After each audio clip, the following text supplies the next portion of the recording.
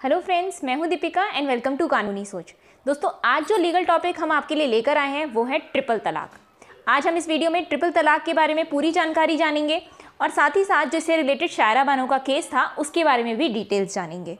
Video start करने से पहले कहना चाहूँगी एज ऑलवेज कि अगर आप हमारे चैनल पर नए हैं और अभी तक सब्सक्राइब नहीं किया है तो प्लीज़ सब्सक्राइब कर लीजिए और साथ ही साथ नोटिफिकेशन बेल पे भी क्लिक कर लीजिए, ताकि कोई भी नई लीगल वीडियो की अपडेट तुरंत आपके पास पहुँचे, क्योंकि लीगल वीडियोज़ का सिलसिला तो चलता रहता है। तो स्टार्ट करते हैं दोस्तों ट्रिपल तलाक के ऊपर इस वीडियो को।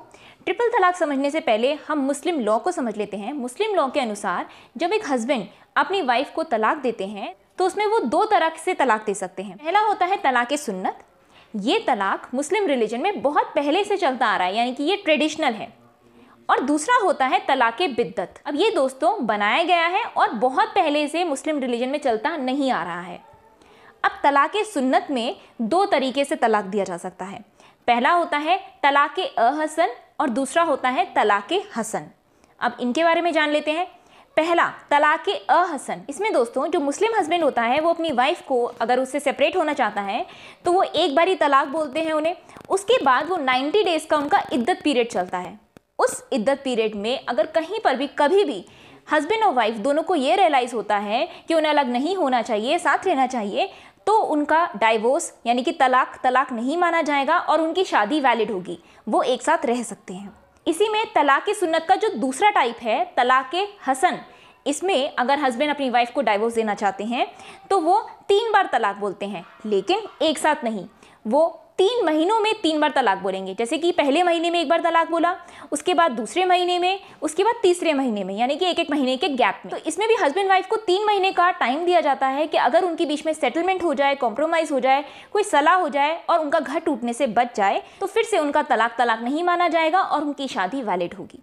तो इन दो टाइप्स में, जो तलाक सुन्नत के दो टाइप्स हैं, तलाक अहसन और तलाक हसन, इसमें दोस्तों सेटलमेंट का स्कोप है। लेकिन जो हम दूसरी टाइप तलाक बिद्दत की बात करें तो उसमें सेटलमेंट का स्कोप नहीं दिया गया है। इसमें दोस्तों क्या होता है? जो मुस्लिम हस्बैंड होता है, वो तीन बार तलाक तलाक तलाक अपनी वाइफ को बोलता है और उनकी शादी वहीं के वहीं टूट जाती है।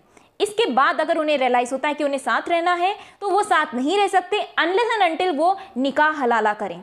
अब निकाह हलाला क्या होता है? निकाह हलाला में दोस्तों, मुस्लिम वाइफ को एक सेकेंड मैरिज परफॉर्म करनी है और सेकेंड मैरिज से फिर डाइवोर्स लेके फिर वो अपने फ़र्स्ट हस्बैंड से वापस से शादी कर सकती हैं। तलाक बिद्दत में ही ट्रिपल तलाक दिया जाता है, जिसके अगेंस्ट शायरा बनो गई थी। अभी शायरा बनो का हम केस समझ लेते हैं।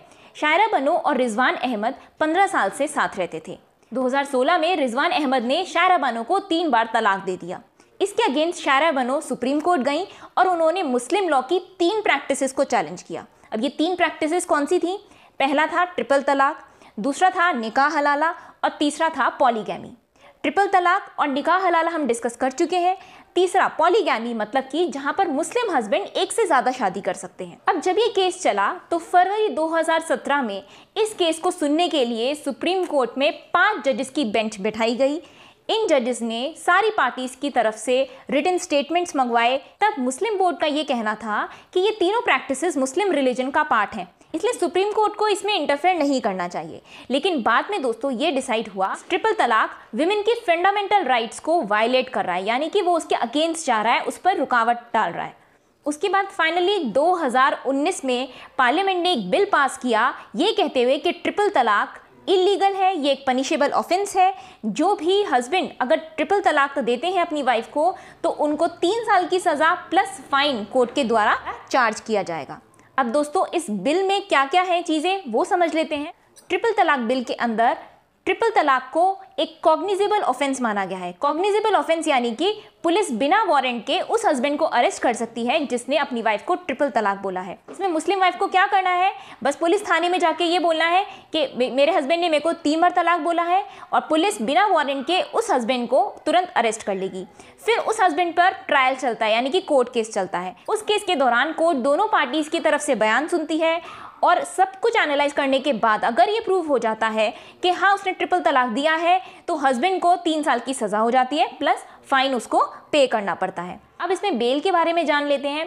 ट्रिपल तलाक में बेल थाने के द्वारा नहीं हो सकती। बेल अगर होगी तो वो सिर्फ़ और सिर्फ़ मजिस्ट्रेट के द्वारा होगी। और वो भी उस वुमेन को सुनने के बाद। वाइफ की बात सुनने के बाद ही हस्बैंड को बेल ग्रांट हो सकती है। अगर वाइफ तैयार है कॉम्प्रोमाइज करने के लिए तो ही बेल मिल सकती है। अब बात आती है मेंटेनेंस और कस्टडी की। अगर हस्बैंड जेल में है तो इस दौरान उसे अपनी वाइफ को और अपने बच्चों को मेंटेनेंस देना होगा। जो भी माइनर चिल्ड्रन की कस्टडी है, वो वाइफ के पास जाती है। दोस्तों ट्रिपल तलाक के अगेंस्ट सिर्फ़ इंडिया ही नहीं, बल्कि और बहुत सारी कंट्रीज़ पाकिस्तान, बांग्लादेश, श्रीलंका, ऐसी और बहुत सारी कंट्रीज़ में ट्रिपल तलाक बैन किया गया है। तो दोस्तों, ये था ट्रिपल तलाक के बारे में।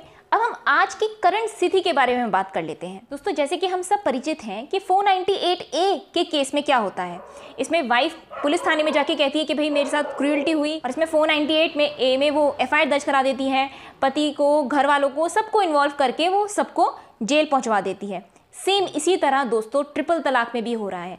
मुस्लिम वाइफ क्या कर रही है? कि अगर पति से कोई झगड़ा हुआ तो बस थाने में जाके वो ये कह देती है कि भाई, मेरे हस्बैंड ने तो मुझे ट्रिपल तलाक बोला है। और पुलिस क्या करती है? उस हस्बैंड को तुरंत अरेस्ट कर लेती है। भले ही हस्बैंड ने ट्रिपल तलाक ना बोला हो, लेकिन बस आपसी मतभेद की वजह से वाइफ ऐसा एक्चुअल में कर रही है। ऐसे दोस्तों, हमारे जानने में कितने सारे केसेस आए हैं जहाँ हस्बैंड प्रताड़ित हैं? मैं ये नहीं कह रही कि हर वाइफ गलत है या हर हस्बैंड गलत है, लेकिन हाँ जो एक्चुअल आज की करंट स्थिति है, वो यही है। ट्रिपल तलाक लाया गया था वुमेन के ऊपर जो अन्याय हो रहे थे, उस चीज़ पर रोक लगाने के लिए, उनको जस्टिस दिलवाने के लिए, क्योंकि क्या होता था, अगर हस्बैंड को थोड़ा भी गुस्सा आता था तो वो तीन बार तलाक बोल देता था और उनकी मैरिज वहीं के वहीं ख़त्म हो जाती थी।